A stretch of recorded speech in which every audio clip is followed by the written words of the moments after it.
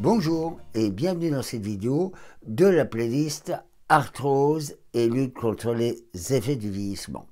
Je vous parlais aujourd'hui d'un trésor caché, vos pieds.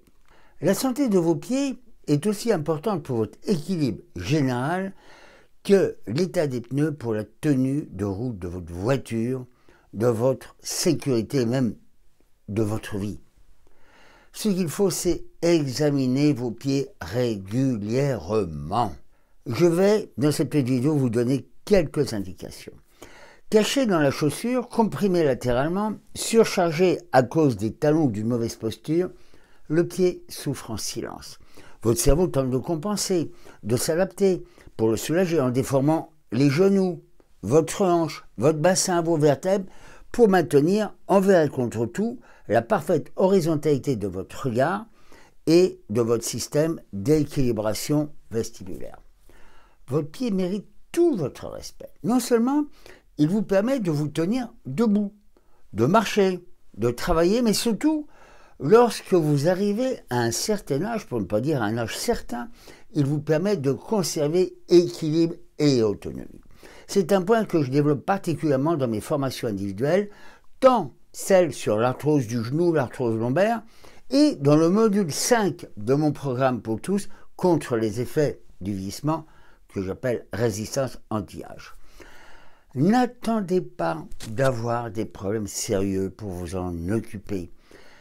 Les déformations du pied, sauf accident grave, s'installent progressivement et est donc possible d'y remédier si on prend la peine de s'observer régulièrement et de pratiquer mon exercice test, hein, l'exercice d'équilibre unipodal.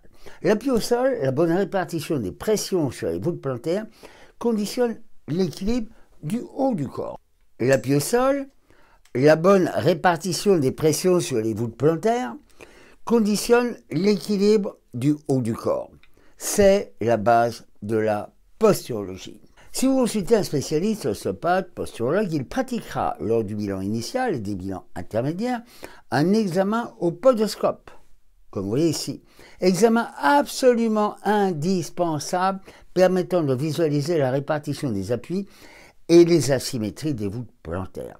Vous pouvez aussi réaliser vous-même une empreinte avec un simple papier du bar coloré ou une serviette de bain colorés posés au sol. Il suffit de mouiller vos pieds et de les poser fermement sur la serviette pour imprimer une empreinte humide. Il vous suffit ensuite de faire une photo avec votre portable euh, afin de fixer l'image et servir de témoin. Mettez bien la date et rangez ce document dans votre dossier archive santé. Alors voici quelques indicateurs. La déformation de la marche, la déformation des chaussures, qui s'usent trop vite à l'extérieur ou à l'intérieur, signe un important déséquilibre postural. Alors, comme je vous l'ai déjà dit, toute déformation du pied se répercutera au genou, entraînant une compensation genou valgum ou genou varum. Le poids du corps doit en principe porter autant sur le talon que sur l'avant-pied. Dans le déséquilibre avant, le poids du corps se porte sur les avant-pieds dont les arches s'effondrent, provoquant une déformation typique du gros orteil, c'est-à-dire hallux valgus ou oignon. Le membre inférieur se met en rotation interne, écrasant le genou et donc responsable d'arthrose. Si les déformations sont évidentes, je vous conseille de consulter sans tarder un ostéopathe ou un kinésithérapeute qui, après un bilan approfondi, vous conseillera soit de faire des exercices correcteurs, soit de consulter un podologue pour vous confectionner des semelles de correction proprioceptives, posturales ou orthopédiques, selon la gravité du cas. Et peut-être aussi un occlusodontiste ou un ophtalmologiste si le problème postural provient de la mâchoire, des dents ou d'un défaut oculaire, notamment un problème de convergence. Je ne vais pas vous décrire le test d'équilibre postural, il fait l'objet d'une autre vidéo. Si vous n'avez pas suivi ma formation, ni suivi un de mes ateliers, je vais vous dire ce qu'il faut faire. Vous mettez debout, les pieds nus sur un sol ferme, les pieds écartés de 10 cm. Et forcez-vous de sentir vos appuis plantaires sur le sol. Est-ce que vous appuyez plutôt sur les talons ou plutôt sur les orteils? Appuyez-vous plutôt sur le gros orteil ou sur le petit orteil?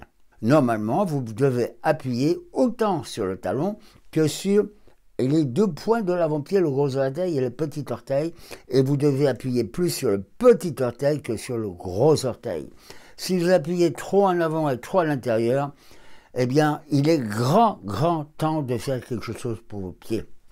Pour terminer, voici les soins naturels que je conseille à mes patients et que je vous conseille bien entendu. Évitez les chaussures molles à voûte intégrée type chaussures de sport. Elles doivent impérativement être réservées au sport. Une bonne chaussure doit être ferme, en cuir si possible, tenir la cheville et ne pas empêcher les muscles plantaires de travailler. Ces chaussures moulantes et molles, portées par les jeunes, a des effets désastreux non seulement sur leurs pieds qui s'affaissent, mais surtout sur leur colonne vertébrale qui se voûte et s'avachit. Et le problème est aggravé par l'utilisation du portable qui aggrave le problème au niveau de la colonne cervicale et dorsale. Le port de chaussures de sport devrait donc, pour des raisons de santé, ne pas être autorisé en dehors des heures de sport. C'est un vœu pieux, mais si la prévention santé durable était inscrite dans les programmes scolaires, bien des maux chroniques et bien des handicaps de fin de vie pourraient être évités. Voilà, c'était un petit rappel sur cet élément anatomique capital pour notre santé et notre bien-être, le pied. Prenez-en soin. Essayez de suivre mes conseils, bien sûr. Si vous voulez en savoir plus, eh bien, vous avez mes vidéos sur l'arthrose du genou, parce que pied et genou, ça marche ensemble. Si vous avez un problème de genou, vous avez forcément un problème de pied. Et vous pouvez avoir des problèmes de toute la colonne vertébrale jusqu'en haut à cause du pied, puisque, comme je vous l'ai dit, le corps compense en permanence pour garder son équilibre. Voilà, si vous avez apprécié cette petite vidéo, merci de mettre un pouce. Si vous n'êtes pas encore abonné, eh bien, je vous engage à vous abonner. C'est gratuit. Euh, j'ai plusieurs playlists qui euh, vont être enrichies au fur et à mesure. Une sur les plans de santé que je viens de relancer. Une sur l'arthrose, le vieillissement. Et bien d'autres sujets par la suite. J'ai une centaine de sujets à traiter euh, en préparation ici. Maintenant, il faut les mettre sous forme de vidéo, ce qui est un peu plus difficile que simplement en parler. C'est tout pour cette petite vidéo. J'espère vous retrouver soit dans une prochaine vidéo, soit dans une de mes formations. Vous n'avez que l'embarras du choix hein, si vous voulez vraiment prendre votre santé en main. Et je vous dis euh, à très bientôt. Et surtout prenez soin de vous, prenez soin de vos pieds, mais du reste également, bien sûr. À bientôt